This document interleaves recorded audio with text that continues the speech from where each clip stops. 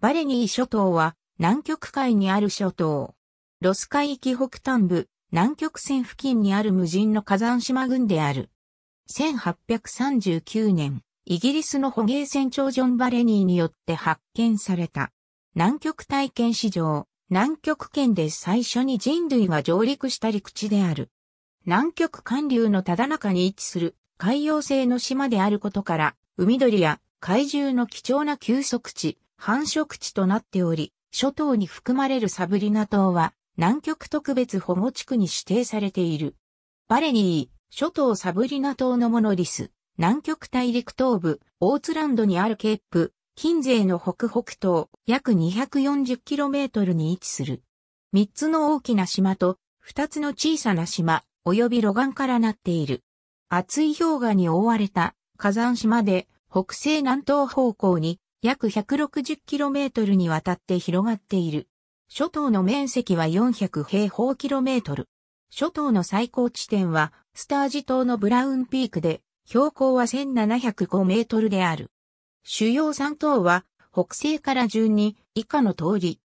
バックル島の南に、サブリナ島ヤング島の南にボラデール島がある。ボラデール島には、南極線が通過している。ニュージーランドが、ロス海属領の一部として領有権を主張している。バレニー諸島の位置、ニュージーランドのほぼ南にある。南極大陸とバレニー諸島1839年2月9日、イギリスエンダービー社の捕鯨船長ジョン・バレニーによって、この諸島は発見された。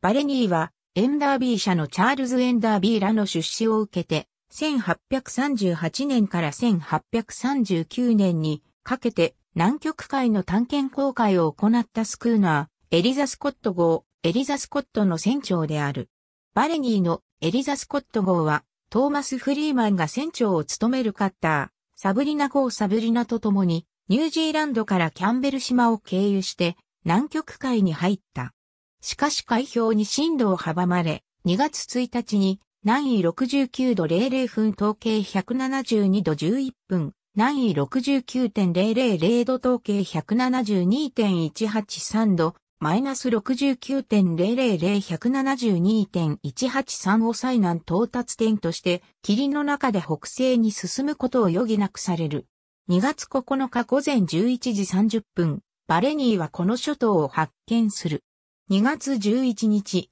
トーマス・フリーマンがこの諸島のいずれかの島に短時間ながら上陸した。この島はおそらくボラデール島であり、これによって南極圏内に初めて人類が上陸したと考えられる。ヤング島、ボラデール島、バックル島、スタージ島、ブラウンピークなどはバレニーによる命名で、いずれも探検航海に共同出資した商人たちの名である。バレニー諸島という名は、バレニーの功績を称え、イギリス海軍水路部長官、フランシス・ボーフォートによって命名された。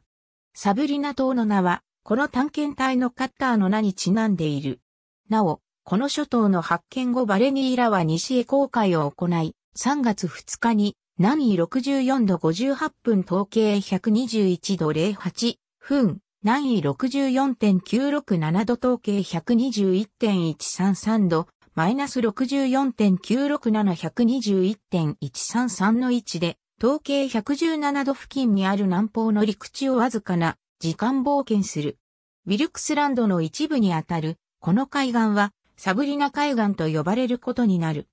バレニーに次いでこの諸島を目にしたのは1841年のジェームズ・クラーク・ロスである。ロスはバレニーがもたらした情報から東経170度から180度経線にかけての南極地域の探検を決意したのであった。1841年3月上旬、ロス海を発見することになる。航海の途時にロスはこの諸島を見、諸島の沖合で4日間を過ごした。その後、この諸島は1850年代に2度望見された。あと、1894年まで記録が途絶える。南極探検の英雄時代に入ると、ロス海から南極大陸を目指したカルステン・ボルフグレヴィンクやロバート・スコットなどがこの諸島を望見している。1936年、英国海軍の調査船ディスカバリー2世号が立ち寄り、この諸島の調査を試みたが、上陸は断念されている。第二次世界大戦後の1948年1月、アメリカ海軍のハイジャンプ作戦により、島の空撮が行われた。1948年2月29日、オーストラリアの調査隊がボラデール島に上陸し、記録に残る限りフリーマン以来約110年ぶりとなる史上2番目の諸島への上陸者となった。以後、フランス、ソビエト連邦、ニュージーランド、アメリカ合衆国など各国の調査隊が諸島を訪れ、上陸、調査を行っている。1966年、南極条約協議国会議の勧告法マイナス -4 により、サブリナ島は南極特別保護地区に指定された。バレニー諸島では、アデリーペンギン、ヒゲペンギン、銀フルマカモメ、南極フルマカモメ、マダラフルマカモメ、雪鳥の繁殖が確認されている。ブーベ島とピョートル一世島の間の経度264度の範囲では、ヒゲペンギンの唯一の繁殖地である。また、アデリーペンギンとヒゲペンギンの繁殖域が共存しているのは貴重である。上記のほか、バレニー諸島で生息が記録されている鳥類、アザラシ類は以下の通り。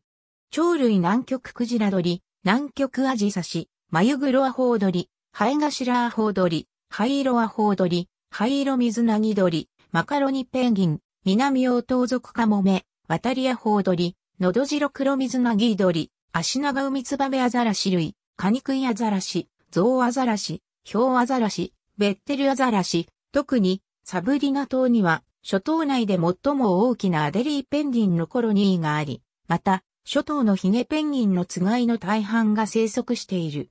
ロス海域で最も北にある南極の陸地としてのバレニー諸島は、この井戸における数多くの終局分布を反映する動植物を維持し、特にサブリナ島は、そのような動植物の代表的な資料をもたらすとして、サブリナ島とその近傍にあるヒゲペンギン小島が南極特別保護地区に指定されている。ありがとうございます。